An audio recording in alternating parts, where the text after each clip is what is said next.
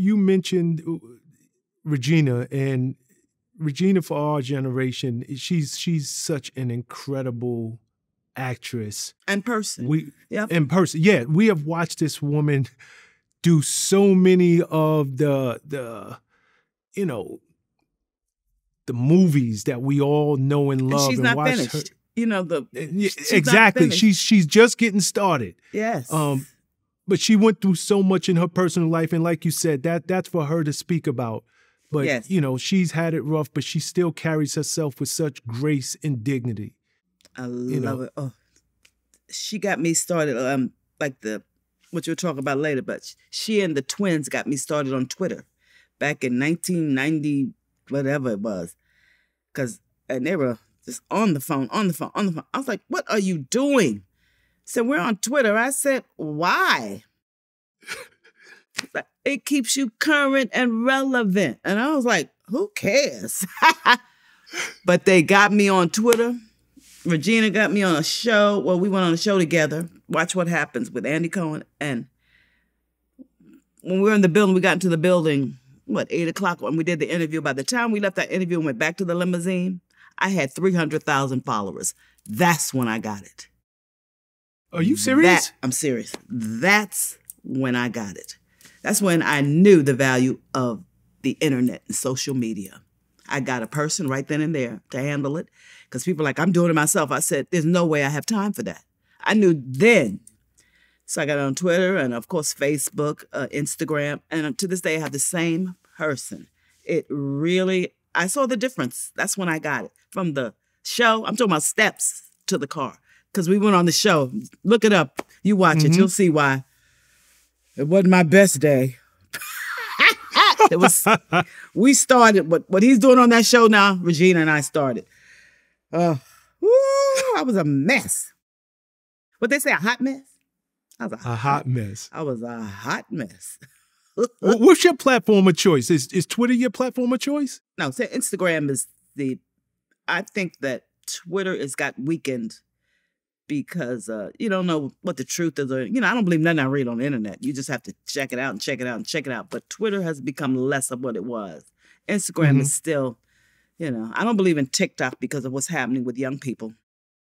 I mean, it's very entertaining, but I'm no, I'm I'm way ahead of you, Prez. I'm into You know- AI. I'm into Chat GPT. I'm I'm trying to tell you. What did I say? I tried to tell you. You know what I'm talking about?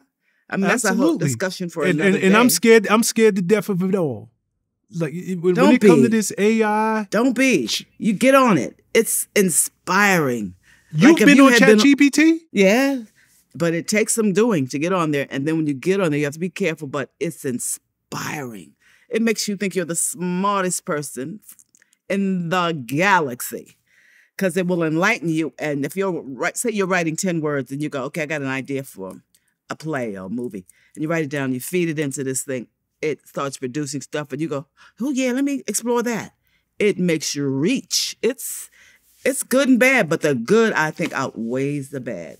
Whoever's what do they call it? The human staffers they call them, the people that feed the info into the the app. That's it. But I mean- try it. No, I recommend it. I'm sorry. I'm one of those. I know what people are saying it could be dangerous, but it's far more inspiring. This young man sitting up here, he need to get on sitting right there. He need to get into it right now. This is the future. The 30 year, 30 to 35 year olds, they should be controlling the AI to me. I, I, I'm, I'm gonna tell you it, that, that's one thing that's gonna have to wait because I am scared to death of AI. I Uh, truly am. Somebody gonna But get you a- one night. You're gonna be somewhere in a club, something you're gonna go somewhere and they're gonna put you in and you're gonna go, she was right. I'm telling you. Especially for what you're doing. It only helps. It really does. But you'll see. It ain't a Darth Vader. It ain't the dark side. You won't go to the dark side. Look, I'm, I'm gonna tell you, I'm so impressed sitting down talking to you because you you really do have your finger on the pulse of everything. In this conversation, you done mentioned Megan Thee Stallion, um, AI. Like there, there's almost no topic that we have touched on that you're like, oh, I don't know about that, Oh, I haven't heard of this person. Do you make a conscious effort to stay this tapped in? yes.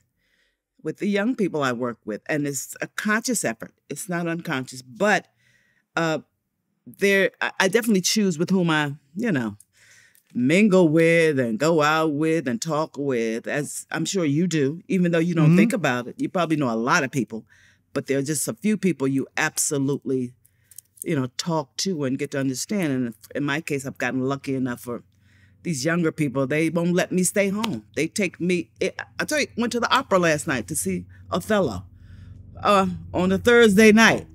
Um, and I've been to the opera, you know, many times. I said, but to see a black man do it, which is very rare. You know, sounds so because it is about a Moor, a black man. You know, mm-hmm. killing a white woman, Desdemona. I just throw that in. That's a little joke, you know.